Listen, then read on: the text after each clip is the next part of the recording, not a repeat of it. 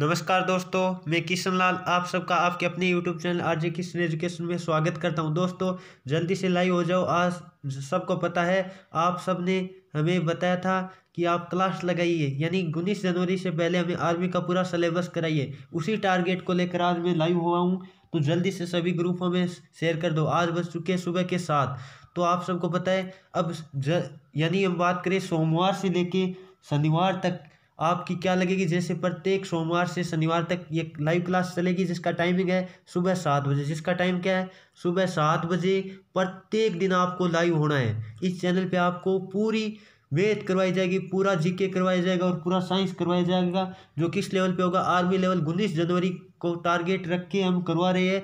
तो शेड्यूल जो आपके सामने दिख रहा है, मैं आपको एक स्क्रीनशॉट आपको दिखा देता हूँ, जिसमें ये शेड्यूल लिखा गया है कि शेड्यूल क्या रहेगा, किस दिन क्या किसकी क्लास होगी। तो आप सबको पता है, सोमवार से, सोमवार को बात करें तो जीके की होगी, फिर मंगलवार को बात करें तो साइंस की होगी फिर बुधवार को बात करें तो किसकी होगी वेद? तो आज बुधवार का वार है तो आज ही से शुरू करने जा रहे हैं। वेद की क्लास है और कल वापस आपको पता है जीके की क्लास होने वाली है जिसमें मोस्ट इंपॉर्टेंट क्वेश्चन होते हैं जो बार बार आर्मी में आते हैं या आपके आने की संभावना है वही क्वेश्चन करवाऊँगा। तो जल्दी से सभी ग्रुपों में कर दो शेयर जो भी भाई आर्मी की तैयारी कर रही है जिनका उन्नीस जनवरी को एग्ज़ाम है और वीडियो को लाइक कर दो।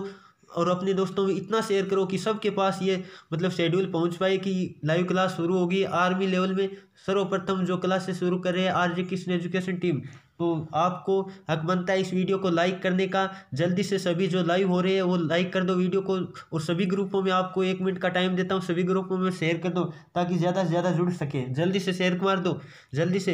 अब चलो लाइव हो जाती है, पहला क्वेश्चन की तरफ़ बढ़ने जा रहे हैं। इससे पहले आप सबको मालूम होगा, मैंने बता ही दिया है। चलो बिना देरी किए आज का मतलब लाइव सेशन हम शुरू करते हैं। पहला क्वेश्चन आज के मैथमेटिक्स के तीस क्वेश्चन करने वाले हैं। तो पहला क्वेश्चन आपकी स्क्रीन के सामने आ गया है। चार व सोलह का मध्यानुपात बताओ। जल्दी से इसका लाइव चैट में आप कमेंट कीजिए या लाइव चैट में लिख दीजिए कि क्या होगा जवाब इसका। जल्दी से।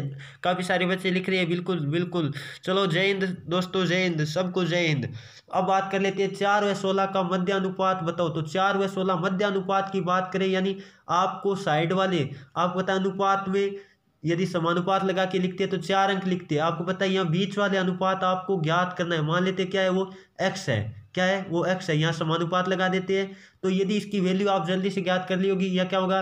एक्स स्क्वायर बराबर क्या होगा? चार गुणा सोलह। इसका मतलब चौंसठ। और चौंसठ का रूट क्या आएगा? एक्स स्क्वायर बराबर चौंसठ। इसका मतलब एक्स बराबर कितना आएगा? आठ आएगा। एक्स बराबर कितना आएगा? आठ आएगा। क्या आपका आठ जवाब आया? तो ऑप्शन नंबर बी आपका राइट होगा। ठीक है? और यदि आप सीधा ध्यान में रखिए तो आपको ध्यान रखना यदि ए और बी दो संख्या दी हो तो आपको यदि मध्य अनुपात निकालना हो तो ए गुणा बी का रूट लेना है सीधा सा। तो आपको चार गुणा सोलह का रूट लेना है, सीधा ध्यान रखना। तो चौसठ का रूट कितना होता है? आठ होता है। तो इसका मध्य अनुपात कितना होगा? आठ होगा। एक क्वेश्चन आपसे मैं करना चाहूँगा, यदि चार और सोलह का माध्य कहे तो कितना होगा? माध्य, केवल माध्य की बात कर रहा हूँ। माध्य का मतलब होता है औस्त। तो ध्यान रखना, माध्य अनुपात कहे तब तो आपका आठ होगा। और माध्य कहे, इसका मतलब चार और सोलह का जोड़ो। यानी कितना हुआ बीस और दो संख्या दो का भाग दो तो माध्य अनुपात कहे तब दस होगा। ध्यान रखना, ये क्वेश्चन में एक्स्ट्रा भी आपको बता रहा हूँ, कई बार इस तरह के क्वेश्चन आर्मी में आ चुके हैं। चलो, अगले क्वेश्चन की तरफ़ बढ़ते हैं। अगला क्वेश्चन आपकी स्क्रीन के सामने आ गया जल्दी से इसका भी जवाब देने की कोशिश कीजिए। सौ व चालीस का क्या बताना है? तृतीय अनुपात बताओ। सौ व चालीस का क्या बताना है? तृतीय अनुपात। यदि आपको दो संख्या ए और बी दे रखी हो तो यदि तृतीय अनुपात की बात करें तो तृतीय अनुपात आपका क्या होता है? वो ध्यान रखना है। तृतीय अनुपात होता है बी स्क्वायर बट्टी ए होता है। क्या होता है? बी स्क्वायर बट्टी ए होता है। ये ध्यान रखना है, यानी दूसरी संख्या का स्क्वायर बट्टी पहली संख्या होता है। तो यहाँ बात करें तो जल्दी से आप निकालो चालीस गुणा चालीस। क्या करना है? चालीस गुणा चालीस बट्टी कितना? सौ। जल्दी से आप जवाब दे रहे हो, काफ़ी सारे बच्चे इसका मतलब कितना यहाँ सोलह है, कितना यहाँ, इसका जवाब क्या होगा, सोलह होगा। तो इसका ऑप्शन नंबर क्या बी राइट होगा। चलो अगले क्वेश्चन की तरफ़ बढ़ते हैं। दोस्तों लाइव काफ़ी हो चुके हो, लेकिन लाइक थोड़े कम दिखाई दे रहे हैं तो वो लाइक भी पूरे कर दो जितने आप लाइव हो। चलो अगले क्वेश्चन की तरफ़ बढ़ते हैं। अगला क्वेश्चन आपको दिखाई दे रहा होगा। इस क्वेश्चन का भी जवाब देने की आप कोशिश कीजिए। क्वेश्चन क्या है? यदि दो संख्याओं का अनुपात तीन अनुपात चार है, तथा दोनों का संख्याओं का योगफल कितना, यानी एक संख्या दी है तीन अनुपात में एक कितनी है चार है। इनका आपको क्या दे रखा है? योग दे रखा है। यानी अनुपातों का योग करो, कितना हुआ? सात। अनुपातों का योग कितना हुआ? सात बराबर अट्ठाईस है, इसका मतलब एक बराबर कितना आएगा? अट्ठाईस बट्टे सात, यानी चार। एक बराबर चार आ गया आपका। कितने बराबर ज्ञात करना? आपको क्या बड़ी संख्या बताओ। बड़ा अनुपात क्या है? चार है। तो चार गुणा चार, यानी कितना होगा संख्या वो? सोलह होगी। क्या होगी? सोलह होगी। और छोटी संख्या कहे तो आपको किससे गुणा करना पड़ेगा? तीन से। चार गुणा तीन करते हैं बारह। तो छोटी संख्या बारह होगी और बड़ी संख्या की बात की तो कितनी होगी? यहाँ होगी सोलह। तो इसका ऑप्शन सी राइट होगा। दोस्तों, आपको वीडियो कैसा लग रहा है? कॉमेंट करके भी बताइए। जय हिंद सबको। चलो, अगले क्वेश्चन तरफ़ बढ़ते हैं। अगला क्वेश्चन बहुत ही बढ़िया है। देखते हैं, इसका जवाब कौन देते हैं? जल्दी से कोशिश कीजिए। लाइव चैट में इसका जवाब देने की क्या है? एक सौ सत, ग्यारह सौ सत्तर रुपये को ए बी व सी में एक बट्टा दो अनुपात, एक बट्टा तीन अनुपात, एक बट्टा चार में बांटने पर एक का भाग बताओ। जल्दी से इस क्वेश्चन का बढ़िया क्वेश्चन है। आ सकता है ऐसा क्वेश्चन आपकी। तो जवाब देने की कोशिश कीजिए। आपको क्या दे रखा है? ए बी सी का मान दे रखा है। अनुपात में एक बट्टा दो एक बटा तीन और एक बटा चार दे रखा है एक बात हमेशा ध्यान रखना दोस्तों, जब कोई अनुपात भिन्न में आ जाए तो उसको सरल अनुपात में बदलने का सीधा सा तरीका है कि बट्टे वाली संख्या देखो क्या क्या है, उनका एलसीएम लो। दो, तीन और चार का एलसीएम कितना है? बारह है। तो सबको किससे गुणा कर दो? बारह से गुणा कर दो। सबको किससे गुणा कर दो? बारह से गुणा कर दो। इसको भी किससे? बारह से। और काट दो, ये कटेगा कितनी बार? छः बार। छः बार और ये कटेगा, चार बार और ये तीन बार। इसका मतलब ये आ गया ए बी सी का वास्तविक यानी हम बात करें वास्तविक क्या साधारण अनुपात? क्योंकि ये भिनात्मक अनुपात था, इसको किसमें बदल लिया? साधारण अनुपात में। तो यदि आपको क्या दे रखा है कुल रुपये दे रखा है यानी तीनों को मिलने वाले यही है ना, और तीनों के वैसे कुल की बात करें तो कितना है? छः चार और तीन कितना हुआ? तेरह बराबर कितना है? तेरह बराबर दिया आपको ग्यारह सौ सत्तर। तो यदि एक बराबर आप निकालोगे, तेरह का भाग दोगे तो नब्बे आएगा। एक बराबर कितना आएगा? नब्बे आएगा। और आपको किसका वैल्यू ज्ञात करनी ए की वैल्यू बताओ, यानी ए को कितना मिलेगा? ए के पास भाग कितना मिल रहा है? छः तो नब्बे गुणा छः नब्बे गुणा छः करना पड़ेगा। यदि आपको ए का ज्ञात करना है, किसका ज्ञात करना है? ए का। तो इसका मतलब कितना है पाँच सौ चालीस रुपये होगा। क्या होगा? पाँच सौ चालीस, इसका क्या होगा? सही जवाब होगा। दोस्तों, सबको आवाज़ तो क्लियर आ रही होगी। जल्दी से कमेंट करके बताइए यस में कि यदि आवाज़ आ रही है, क्योंकि कई बार हो सकता है नेटवर्क की वजह से आवाज़ नहीं आई चलो दोस्तों, अगले क्वेश्चन उत्तर बढ़ते इसका क्या जवाब होगा? पाँच चालीस होगा। यदि आपको बी का कहे तो चार से गुणा करना पड़ेगा और जो भी कहे, वो ज्ञात करना पड़ेगा, ठीक है? ये ध्यान रखना। चलो, अगले क्वेश्चन उत्तर बढ़ते बिना देरी किए अगला क्वेश्चन आपके स्क्रीन के सामने आ रहा है। ये क्वेश्चन बिल्कुल इंटरेस्टदार क्वेश्चन है। जल्दी से कीजिए। क्या देर का है?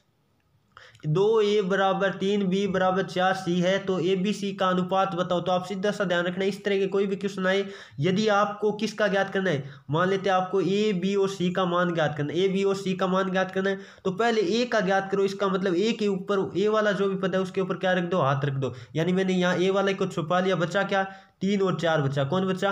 तीन और चार। दोनों को गुणा कर दो। कितना है बारह है कितना है बारह है फिर यदि आपको बी का ज्ञात करना है, किसका ज्ञात करना है? बी का। इसका मतलब बी वाले को छुपा लो। बाकी कौन रहा? बी वाले को छुपाने के बाद बाकी कौन रहा? आपको ए और सी के साथ कौन है? दो और चार है तो गुणा कर दो कितना यहाँ? आठ। फिर आपको क्या करना है? सी वाले को छुपा लेना है तो सी वाले को छुपा लो। बाकी कितना रहा? दो और तीन। दो और तीन को गुणा किया कितना? छः अब दो से काट दो कितनी बार? छः बार, चार बार और कितनी बार? तीन बार। यानी छः अनुपात चार अनुपात तीन। आपका जवाब कौन सा होगा? ये वाला होगा। कौन सा? ये वाला। छः अनुपात चार अनुपात तीन। आपको इस तरह कोई भी क्वेश्चन आए, एक का ज्ञात करना है ए वाले के ऊपर हाथ रख लो, बाकी है उनको गुणा कर दो, बी का कहे तो बी वाले के ऊपर रख दो तो ये आपका छः और चार और तीन क्या आ जाएगा, आपका उत्तर आ जाएगा। चलो अगले क्वेश्चन तरफ़ बढ़ते अगला क्वेश्चन आपकी स्क्रीन के सामने आ रहे हैं। बिल्कुल ही आसान सा क्वेश्चन है। यदि आप मैथमेटिक्स की जो क्लास मेरे बोर्ड के द्वारा पढ़ाई गई है, वो भी ले सकते हैं। पीछे की वीडियो आप बिल्कुल जाए, मिल जाएँगे, जिसमें आपको लाइव क्लास पीछे भी मैंने वीडियो प्रोवाइड कर रखी है। हालाँकि पीछे लाइव क्लास मैंने नहीं लगवाई थी, क्योंकि चैनल आपको पता है, दो महीने हुए हैं और काफ़ी सारा आपका सपोर्ट मिला है। तो चलो इस क्वेश्चन का जवाब देने की आप कोशिश कीजिए। आपको क्या दे रखा है? ए अनुपात बी दे रखा है। ए अनुपात बी कितना दिया? दो और तीन दिया। कितना दिया? दो और तीन। फिर आपको पता है बी और सी दे रखा है। इसका मतलब बी और सी कितना? बी के सीध में लिख लो कितना दिया है? बी का मान दिया चार और सी का मान दिया पाँच। और आपको ध्यान रखना है, जिस जगह खाली जगह है, उसकी जगह कौन? जो पास वाला है, उसको ले आओ, यानी पड़ोसी, ठीक है? यहाँ खाली जगह कौन आएगा? चार। अब इनको क्या कर दो? गुणा कर दो। ये कितना यहाँ? आठ। ये बारह और ये कितना आएगा? ये पंद्रह। इसका मतलब अनुपात कितना है? आठ, बारह और पंद्रह। कौन सा है? आठ, बारह और पंद्रह वाला ऑप्शन कौन सा है? यानी बी वाला ऑप्शन आपका राइट होगा। बहुत सारे बच्चों ने सही जवाब भी दिया है। जल्दी से आप पहले निकालने की कोशिश कीजिए फिर मिलाइए कि आप सही करें चलो, अगले क्वेश्चन तरफ़ बढ़ते अगला क्वेश्चन आपके स्क्रीन के सामने आ रहा है। क्या है? चलो दोस्तों, अगला क्वेश्चन आपकी स्क्रीन के सामने आ गया, जो कि क्वेश्चन क्या है? चार अनुपात पाँच के समतुल्य अनुपात क्या है? जल्दी से इस क्वेश्चन का जवाब देने की कोशिश कीजिए। आप सबको है समतुल्य अनुपात का मतलब जिन अनुपातों को काटने पर वो अनुपात प्राप्त हो जाए, वही क्या होता है? यानी जिन अनुपातों को काटने पर एक समान अनुपात आ जाए, वही समतुल्य अनुपात होते हैं। तो आप ये सोलह और पच्चीस को काट के देखो। आप बताया कट नहीं रहा है कोई कॉमन संख्या से?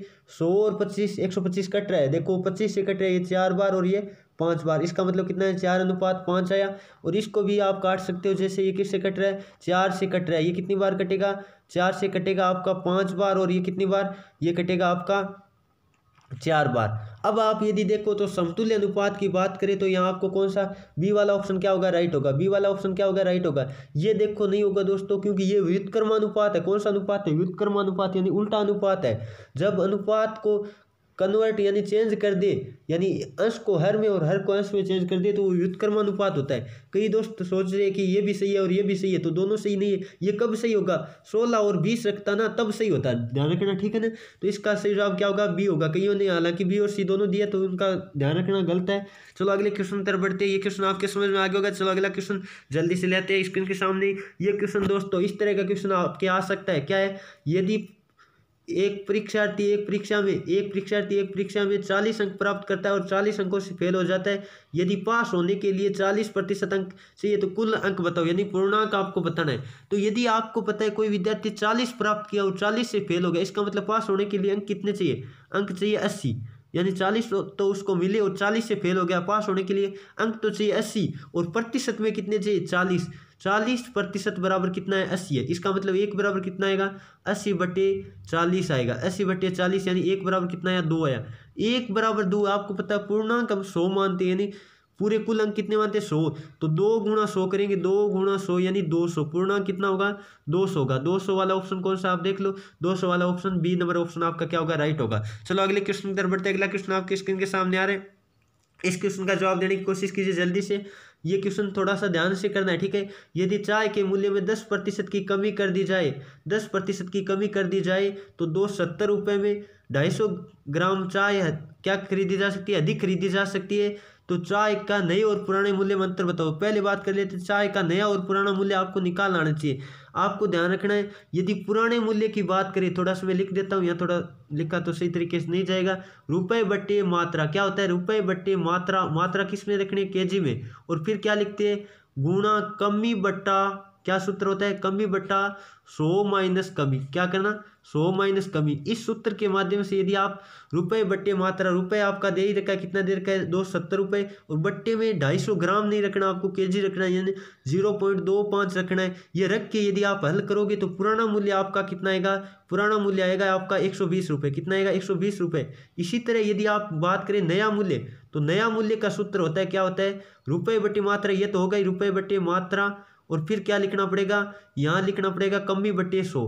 कमी बटे सो। यदि इसका भी आप वैल्यू निकालोगे, क्योंकि मैं थोड़ा लंबा लिख नहीं पाऊँगा यहाँ यदि हल करके आप निकालोगे इसका आएगा एक सौ आठ तो नया और पुराना मूल्य दोनों आपके पास आ जाए। आपको क्या कह रहे हैं? अंतर बताओ। तो 120 और 108 का अंतर कितना है? बारह रुपए का, यानी ऑप्शन नंबर ए आपका क्या होगा? राइट होगा। तो आप इस तरह से ये जो सूत्र है, वो ध्यान रखने चाहिए। इस तरह का कोई भी क्वेश्चन आए तो रुपए, पुराना मूल्य की बात करें तो रुपए बटे मात्रा गुणा कमी बटा सौ माइनस कमी, और नए की मूल्य की बात करें रुपये बटे मात्रा गुणा कमी बटा सौ। इन दोनों सूत्रों के माध्यम से आप निकाल सकते हैं। अंतर, का तो अंतर कितना होगा? बारह होगा। चलो दोस्तों, अगले क्वेश्चन अंतर बढ़ते हैं।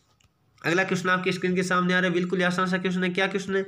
क्वेश्चन है 800 ग्राम एक केजी का कितना प्रतिशत, आपको है, एक केजी का मतलब कितना होता है? हज़ार ग्राम होता है। कितना होता है? हज़ार ग्राम होता है। तो 800 ग्राम है वो, हज़ार ग्राम का कितना प्रतिशत, आप सबको पता है, किसका निकालना है? तुलना किसके साथ है? एक केजी के साथ इन्हें हज़ार बट्टे में आएगा। का किसके नीचे आगे है? का आपके है, एक केजी के आगे। इसका मतलब हज़ार ग्राम बट्टे में आएगा और आठ सौ क्या आएगा, ऊपर आएगा। और गुणा में सौ, क्योंकि प्रतिशत में चेंज करने के लिए। इस तरह के क्वेश्चन कई बार आ चुका चलो, हल करोगे, यदि आप काट के तो आपका कितना आएगा? अस्सी प्रतिशत। यानी 800 ग्राम है, वो हज़ार ग्राम का कितना प्रतिशत है? 80 प्रतिशत है। कितना? 80 प्रतिशत है। ध्यान रखना, इसका मतलब 80 प्रतिशत वाला ऑप्शन कौन सा है? ये वाला। बी वाला ऑप्शन क्या होगा? आपका राइट होगा। चलो, अगले क्वेश्चन तरफ़ बढ़ते हैं। वीडियो को लाइक करते रहिए और अपने दोस्तों में ज़्यादा से ज़्यादा शेयर कर दीजिए। जो अभी भी लाइव नहीं हुए, उनको कह दीजिए कि डेली यहाँ सात बजे आपकी क्लास होती है तो डेली सुबह सात बजे लाइव हुआ करो। आपको बार बार अब कहने की ज़रूरत नहीं है, क्योंकि उन्नीस जनवरी तक आपकी लाइव क्लासेस चलने वाली है। और जब आपके एग्ज़ाम के पाँच या दस दिन बचेगी तो आपको मैं एक मेटर दूँगा पीडीएफ दूँगा, एक सब जिसमें ये सारे क्वेश्चन जो मैं करवा रहा हूँ, वो आपको मिलेंगे। तो वो भी मेटर आपको लेना है तो चैनल पे जुड़े रहिए। वो मेटर मैं आपको प्रोवाइड करने वाला हूँ। होगा तो दस जनवरी से पहले आपको प्रोवाइड कर दिया जाएगा वो मेटर चलो, आगे बात कर लेते हैं। यदि किसी वस्तु को आठ सौ रुपये में बेचने मतलब आठ सौ रुपये में खरीद कर हज़ार रुपये में बेचे तो मतलब कितने प्रतिशत का लाभ है? आपको सीधे से बताए। यदि लाभ या हानि प्रतिशत निकालना हो, लाभ या हानि प्रतिशत निकालना हो आपको तो वो किस पे निकलती है? हमेशा ध्यान रखना, क्रय मूल्य पे निकलती है। किस पे निकलती है? क्रय मूल्य पे। और गुणा में सौ प्रतिशत में चेंज करने के लिए लगाते हैं और ऊपर लिखते हैं, लाभ या हानि कितने की हुई है? तो यहाँ लाभ और हानि कितने, लाभ या हानि जो भी है, यहाँ क्या हुआ? लाभ हुआ है, दो सौ रुपये का लाभ हुआ है। कितने पे हुआ है? आपको पता है, यहाँ आठ सौ रुपये पे हुआ है ना तो दो सौ बट्टे आठ सौ गुणा सौ। यदि आप इसको काट के हल करोगे आपको पता है पच्चीस एंट्री दो सौ होता है, पच्चीस प्रतिशत। तो कितने प्रतिशत का लाभ हुआ है? पच्चीस प्रतिशत का लाभ है। इसका मतलब ऑप्शन नंबर कौन सा राइट होगा? बी नंबर ऑप्शन आपका क्या होगा? राइट होगा। इसका क्वेश्चन का जवाब होगा पच्चीस प्रतिशत। चलो अगले क्वेश्चन की तरफ़ बढ़ते अगला क्वेश्चन आपकी स्क्रीन के सामने आ रहे हैं। क्या दे रखा है? यदि दो वस्तुओं का क्रय मूल्य समान है, क्या है? यदि दो वस्तुओं का क्रय मूल्य समान है, यदि एक पर बीस प्रतिशत का लाभ तथा दूसरी पर बीस प्रतिशत की हानि होती है तो पूरे सौदे में क्या होगा? अब मान लेते हैं आप, ये ली फ़र्स्ट वस्तु, ये क्या ली फ़र्स्ट और ये ली सेकेंड। क्रय मूल्य दोनों का क्या है? समान है। क्रय मूल्य हमने कितना कितना माना? सौ सौ माना। कितना? सौ सौ मान लिया। आपको कह रहा है, एक पर चलो, ये विक्रय मूल्य बात कर लेते दोनों की। एक पर कह रहा है, बीस प्रतिशत का लाभ कितने में बेचेगा? एक सौ बीस में एक पर बीस की हानि, यानी अस्सी में। इसका मतलब अब बात कर लेते हैं टोटल टोटल की बात करें तो टोटल क्रय मूल्य कितना है? टोटल क्रय मूल्य की बात करें दो सौ है और टोटल विक्रय मूल्य की बात करें वो भी कितना है? दो सौ। तो आप पूरे सौदे में बात करें तो नया तो लाभ हुई है और नया हानि हुआ है। यदि आपका क्रय मूल्य समान है और समान लाभ और समान हानि हो तो नया तो लाभ होता है नया हानि होती है। जब किसी क्वेश्चन में ऐसे देता ना विक्रय मूल्य समान है। क्या देता? विक्रय मूल्य समान। तब आपको पता है कैसे निकालते? सौ गुणा एक पर क्या कह रहा है? बीस का लाभ एक सौ बीस बटे सौ और एक पर कह रहा है बीस की यानी अस्सी बटे सौ। यानी क्या करते हैं, हम इनको काट के हल करते चलो कर लेते हैं। तो वारंटी कितना होता? छियानवे। तो सौ से छियानवे हो गया, यानी चार की कमी आती। चार की क्या आती? कमी आती। ये कब है? विक्रय मूल्य समान होने पे है। ये विक्रय मूल्य समान होने पे होगा। यदि आपने चार प्रतिशत ला मतलब हानि की है तो आपका क्वेश्चन इस क्वेश्चन के लिए जवाब गलत होगा क्योंकि ये किसके लिए होता है? जब विक्रय मूल्य समान की बात करें तब ये होता है। और क्रय मूल्य समान की बात करें यदि इस क्वेश्चन के लिए देखें तो नया लाभ होगा, नया हानि होगा। इस क्वेश्चन का जवाब ये होगा। तो दोनों तरह के क्वेश्चन आपको ध्यान रखने ताकि एग्ज़ाम में कोई सा भी आए तो हमें कन्फ्यूज़ नहीं होना। क्रय मूल्य के लिए बात करें, समान लाभ, समान हानि तो नया लाभ होता है, नया हानि होता है। जबकि विक्रय मूल्य के लिए बात करें तो उस तरीके से आप निकाल सकते हैं, जैसे मैंने अभी बताया। चलो अगले क्वेश्चन बढ़ते हैं। क्वेश्चन नंबर तेरह आपकी स्क्रीन के सामने आ गया क्या यदि चार वस्तुओं का क्रय मूल्य पाँच वस्तुओं के विक्रय मूल्य के बराबर है तो लाभ या हानि प्रतिशत बताओ। तो आपको हमेशा ध्यान रखना है, यदि मूल्य दिया रखा हो तो लाभ या हानि किस पे निकलती है?